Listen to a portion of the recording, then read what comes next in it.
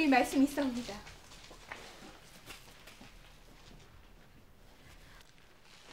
허니 마음 편히 하시라는 최판술 대방어른의 당부가 있으셨습니다. 어성 경합이 끝날 때까지는 못 오실 거라고요. 안 그래도 이길 수 있다 하였는데 오라버니께서 괜한 일을 하셨구나.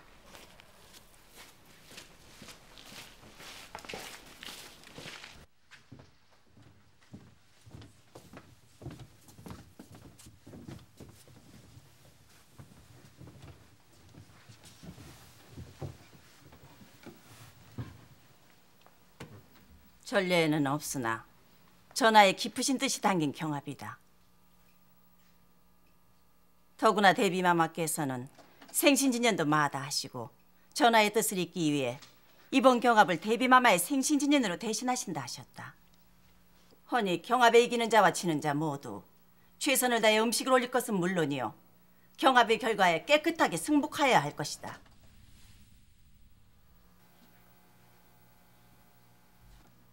가만히 있자. 한상홍은 한상홍은 왜 보이질 않느냐? 예. 어찌된 일이냐? 경합을 치를 당사자가 왜 보이질 않아? 어찌된 일인가? 어찌된 일이냐고 묻지를 않는가? 글쎄요.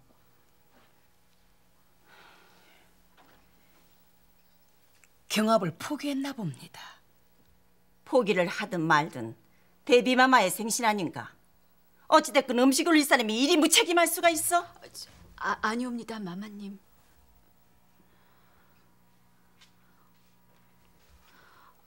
한상국 마마님께서는 경합에 쓰일 재료를 구하러 나가셨을 뿐입니다. 재료는 어제 모두 구하였다 하지 않았느냐?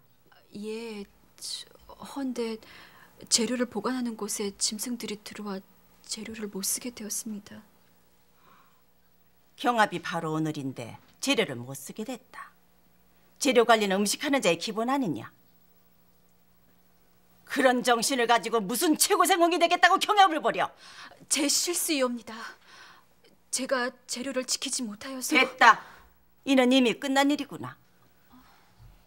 시각에 데우지 못한 선비를 기다려줄 그런 과거 시험도 있다더냐. 승패는 이미 결정 났다. 내일을 대비마마께 구할 것이니 그리들 알거라. 어, 저 마마님, 제가 하겠습니다. 저, 아직 음식을 올린 데까지는 시각이 있습니다.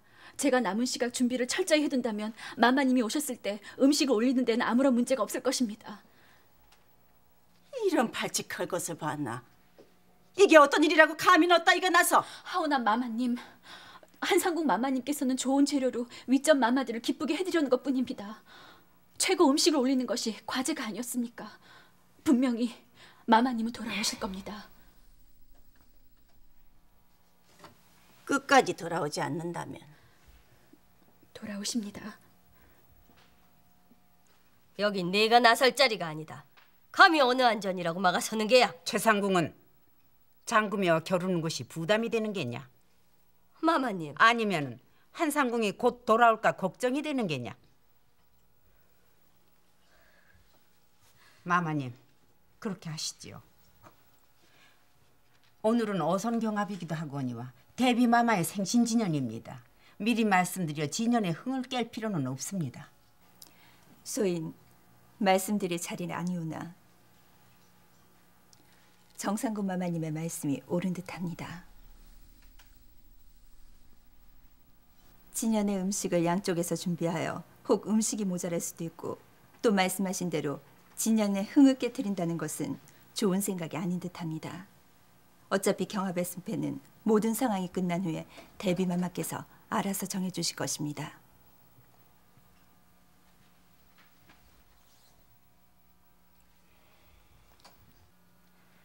좋다. 허면 장금이 넌 한상궁 대신 경합을 치러 어떤 결과가 나와도 승복하겠는가? 예, 승복하겠습니다, 마마님.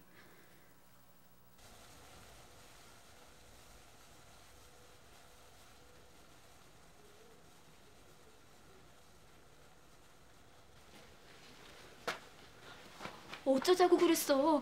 아무리 그래도 저쪽은 최상국 마마님인데. 더구나 재료라고는 사원에서 받아온 이것들이 전부잖아.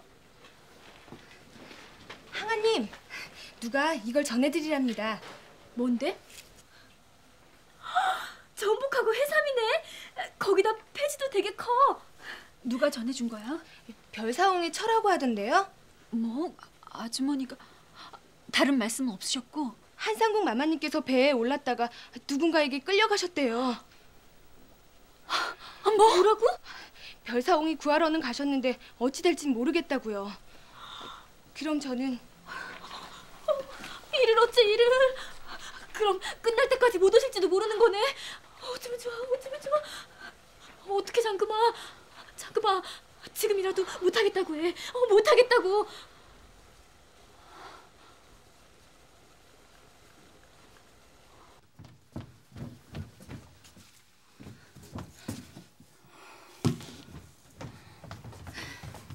마마님 어떡해요? 어떡하긴 뭘. 하기로 한 거 해야지. 자. 동궁전 소주빵 동무한테 빌어서 구해낸 거야. 얼마 안 되는 거니까 잘못하면 안 돼. 장금아 이것도 받아.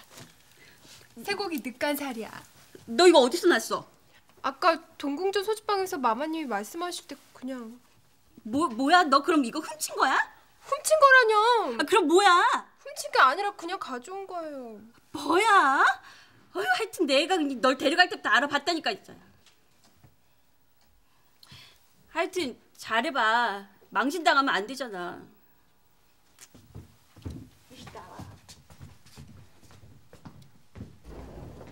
마마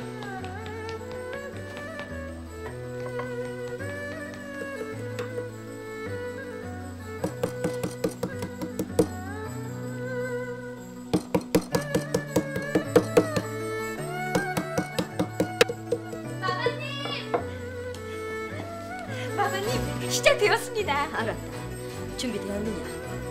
예, 처음 것은 네가 만들었으니 네가 올리거라. 예.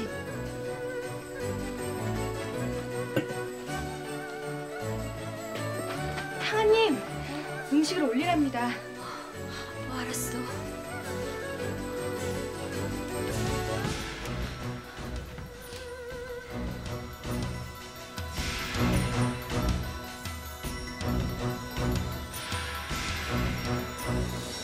준비되었으면 시작하거라. 드리라.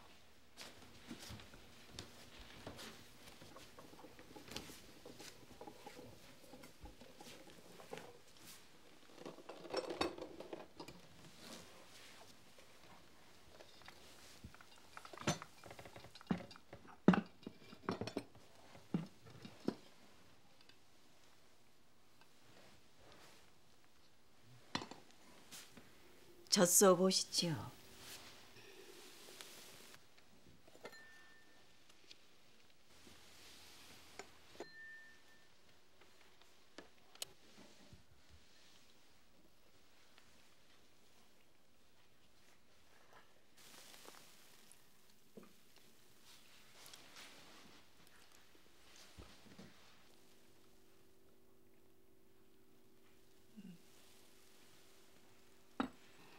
처음 먹는 죽이구나. 무엇이냐? 전복에 내장을 넣어 끓인 전복 내장죽입니다 내장을 넣어. 이에 녹색빛이 좋은 해산물의 내장은 모두 싱싱한 해초를 먹고 자란 것이라 그 내장에는 바다의 맛과 양분이 그대로 담겨 있습니다.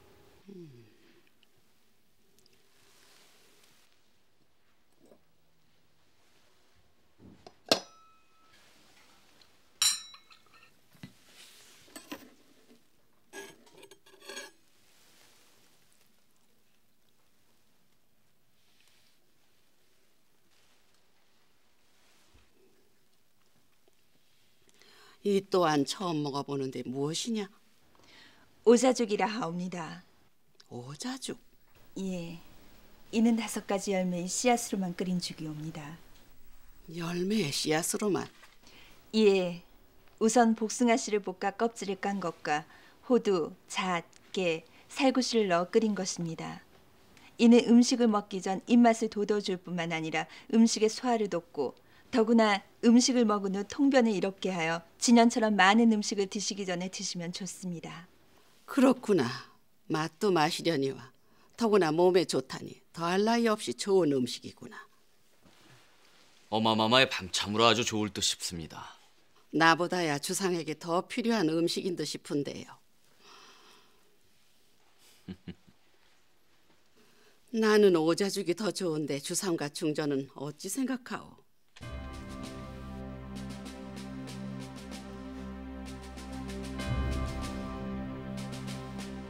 자, 어서들 드시오.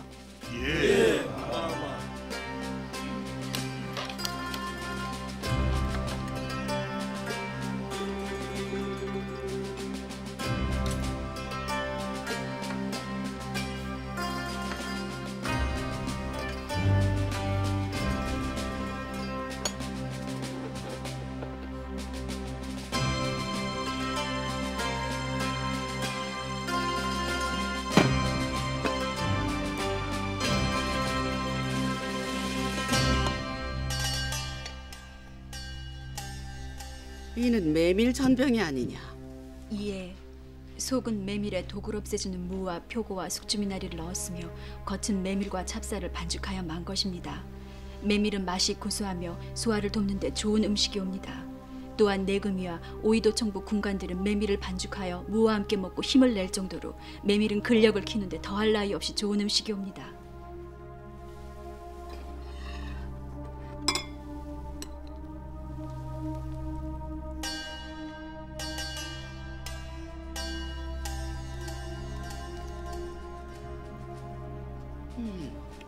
맛이 좋구나.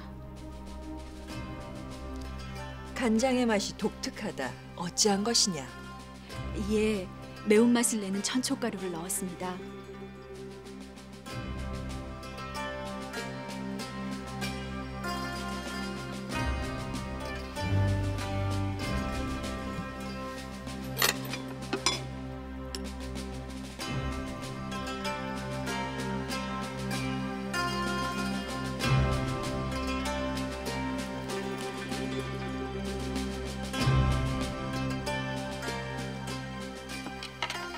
이는 생선 껍질로 쌈을 했구나. 예, 전하. 명태 껍질로 쌈을 한 것이옵니다. 비릿한 내음이 전혀 나지 않는 게 오히려 새콤하기까지 합니다. 그렇습니다. 씹을 때마다 미나리의 향이 배어 나오는 것이 아주 별미입니다.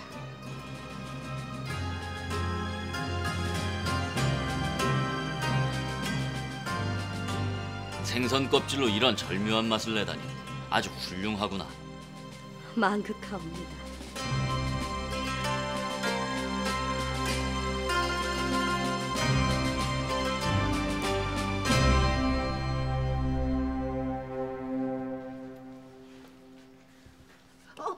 보십시오. 벌써 두 번째나 최상국 마마님 것이 더 나았습니다. 그래도 아직 누구께 더 낫다고 말씀 안 하셨어? 넌 먹을 줄이나 알지 네가 뭘 알겠니? 에이. 그럼 그렇지. 집 가진 게 아무리 잘난 척을 해봐야 최상국 마마님을 어찌 당해?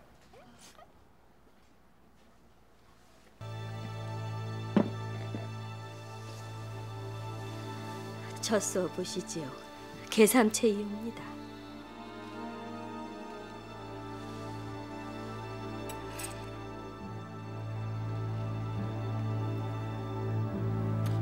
주상도 드셔보세요. 제가 이리 담백하고 고소할 수가 없습니다. 예, 어마마마.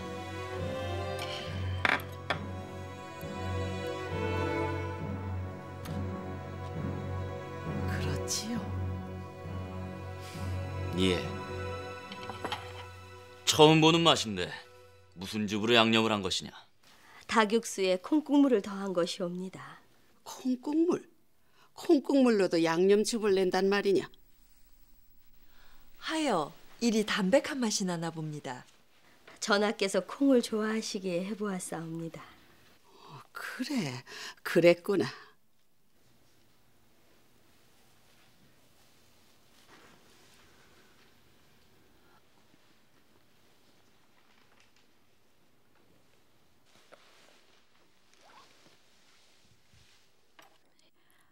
어머니, 드디어 어머니의 맛을 올립니다.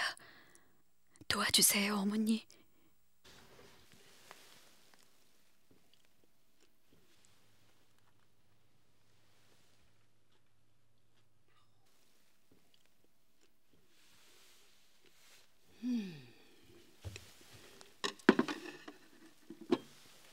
놀랍구려 주상. 내 일이 상큼한 맛은 생전 처음이요. 저도 그러하옵니다. 마치 해물이 입안에서 살아 움직이는 듯하옵니다. 늘 보던 어숙체인데 이는 처음 맛보는 것이다. 도대체 무엇이냐? 이에 마늘 양념즙이옵니다. 뭐라? 마늘 양념즙? 예, 궁중에서는 양념즙으로 주로 잣집을 쏘나 이는 고소한 맛은 있지만 채의 장점인 상큼한 맛은 없는 듯하여 마늘즙으로 해보았는데 그 맛이 의외로 좋았습니다. 또한 마늘은 해물의 비린 맛까지 제거해 주었습니다. 그래 그렇구나. 겨자처럼 톡 쏘는 맛도 아니고 달근하면서 매콤한 것이 아주 입안이 개운하구나. 허나 이는 꼭 마늘의 맛만은 아닙니다. 이 시원함과 새콤함은 어디서 온 것이냐? 식초를 달리하였습니다. 식초? 예, 여기에 쓴 식초는 땅 속에서 몇십 년을 묵힌 감식초이옵니다.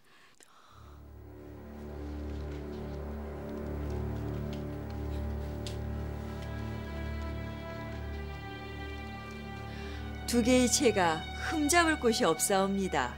예, 그렇구려. 나로서도 도저히 두 음식을 가릴 수가 없습니다. 이번에는 주상의 해안이 필요하겠어요. 둘 다 나무랄 데가 없습니다. 허나 하나의 식초를 몇십 년간 간수해온 정성을 생각하면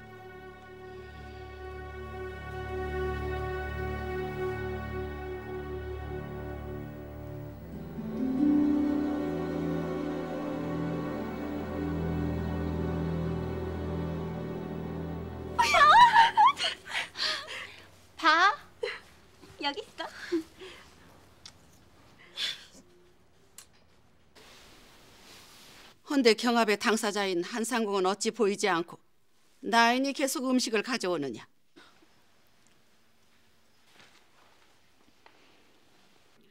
한상궁은 안에서 음식을 하느냐?